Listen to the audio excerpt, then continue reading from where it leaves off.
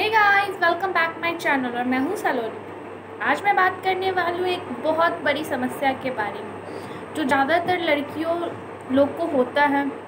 बहुत परेशान रहती हैं लड़कियाँ इस चीज़ से। आज मैं आपके साथ शेयर करने वाली हूँ छोटा सा सिंपल सा ट्रिप और ट्रिक्स जो आपके लिए काफ़ी हेल्पफुल होगा। तो प्लीज़ मेरे वीडियो को इन तक ज़रूर देखें। और अगर आप मेरे चैनल पर नए आए हो तो प्लीज़ मेरे चैनल को सब्सक्राइब करना बिल्कुल ना भूलें और बेल आइकन को दबाना भी बिल्कुल ना भूलें ताकि मेरी कोई भी न्यू वीडियो का नोटिफिकेशन आप तक सबसे पहले पहुँचे। तो चलिए शुरू करते हैं आज के हमारे वीडियो से। बालों को सबसे आसान तरीके से स्ट्रेट बनाने के लिए पहले फुल फैटेड क्रीम लो। और इसको एक स्प्रे बॉटल में डाल दो। अब इससे अपनी क्लीन हेयर पे स्प्रे करो और फिर कॉम करो। स्कैल्प से लेकर इन तक मिल बालों को नेचुरली स्ट्रेट करता है, क्योंकि मिल्क में ना दो टाइप के प्रोटीन होते हैं। एक तो कैसिनो और दूसरा वेब प्रोटीन होते हैं, जो बालों को बिना डैमेज किए नेचुरली स्ट्रेट करता है। आप आप ना बस ट्राई करके देखो। मिल्क आपको फुल फैटेड ही लेना है, लेकिन कोकोनट मिल्क मिल जाए तो और भी बढ़िया है, नहीं तो आप ये नॉर्मल मिल्क से भी काम कर सकते हो। इसे अप्लाई करने करके 30 मिनट के लिए छोड़ दो और फिर 30 मिनट के बाद अपने बालों को शैम्पू से वॉश कर लो, और कंडीशनर से वॉश कर लो। फ़र्स्ट टाइम में ही आप विजुअल रिज़ल्ट देख पाएँगे, आपको डिफरेंस देखने को मिल जाएगा। इसे वीक में दो बार करना है आपको।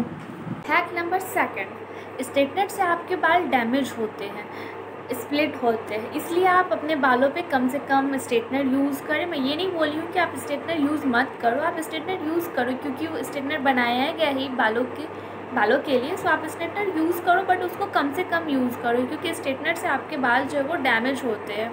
और अगर आप स्ट्रेटनर यूज़ भी करते हैं तो अपने बालों के लिए पूरा प्रोटेक्शन के साथ उसको यूज़ करो। स्ट्रेटनर यूज़ करने से पहले आप अपने बालों पे सीरम लगाओ, हेयर सीरम लगाओ, ताकि अगर आप स्ट्रेटनर से अपने बाल को स्ट्रेट भी करें तो आपके बाल को कोई, बालों को कोई प्रॉब्लम ना हो, आपका बाल डैमेज ना हो। सीरम लगाने के बाद आप आप स्ट्रेटनर से अपने बालों को स्ट्रेट कर सकते हैं। सीरम लगाने से होता क्या है ना कि आपके बाल जो है वो स्ट्रेटनर मतलब स्ट्रेटनर में हीटिंग होता है तो उससे आपका बाल जो है वो डैमेज नहीं होता है। इसलिए आप सीरम लगा के ही अपने बालों पे स्ट्रेटनर का यूज़ करें। इससे क्या है कि आपका बाल बिल्कुल डैमेज नहीं होगा।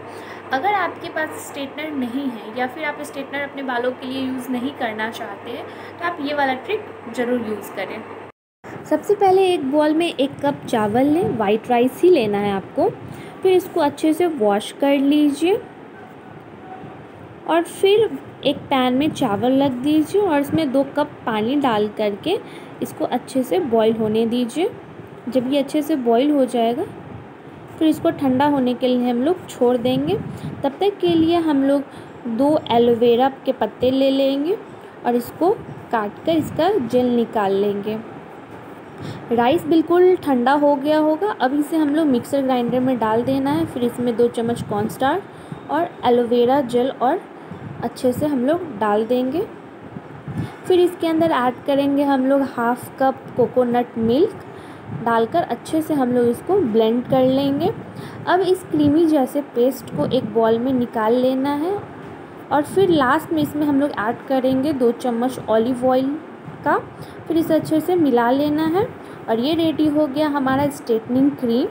अब इस क्रीम को लेकर बालों के छोटे छोटे सेक्शन करके अप्लाई करते जाना है। राइस ना हमारे बालों को स्ट्रेट करने में बहुत ही बेनिफिशियल है।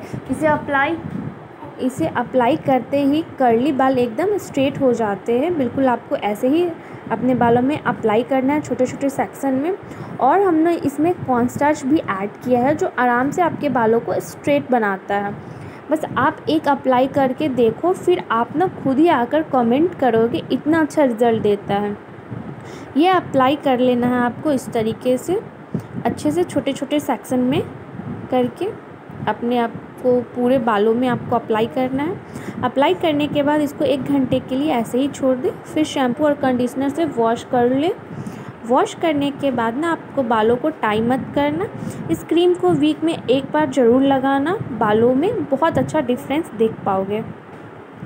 अगर आप पार्लर जाके अपने बालों को स्ट्रेट करवाते हैं तो आपके बालों का जो कचूमर निकलता है माय गॉड स्ट्रेटनिंग क्रीम जो पार्लर वाले हमारे बालों के लिए यूज़ करते हैं, वो गंदे केमिकल से बने होते हैं जिससे हमारा बाल जो है वो डैमेज होता है।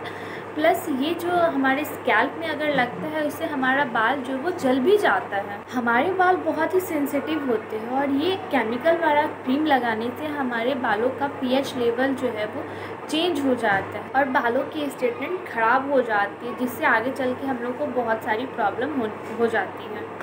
और रिसर्च से पता चला है कि स्ट्रेटिंग के बाद आपके फ्रीजी हेयर 61 परसेंट हो जाते हैं डैंड्रफ 67 परसेंट हो जाते हैं हेयर लॉस 71 परसेंट होते हैं, सफ़ेद बाल 22 परसेंट होते हैं और स्प्लिट तो 70 परसेंट हो जाते हैं। इसीलिए मार्केट की क्रीम की जगह आप मेरा वाला नेचुरल क्रीम बनाओ और यूज़ करो। इसको बनाना भी बहुत ही सिंपल है और इसके कोई साइड इफ़ेक्ट भी नहीं है।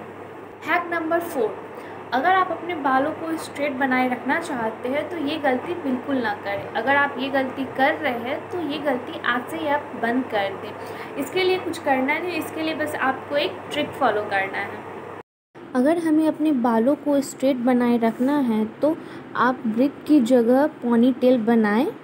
या फिर आप लूज़ वन भी बना सकते हैं। इससे आपके बाल जो है वो बिल्कुल भी वेवी नहीं होते हैं और आपके बालों की स्ट्रेट बनी रहती है। तो ये टिप को आप हमेशा फॉलो करिए।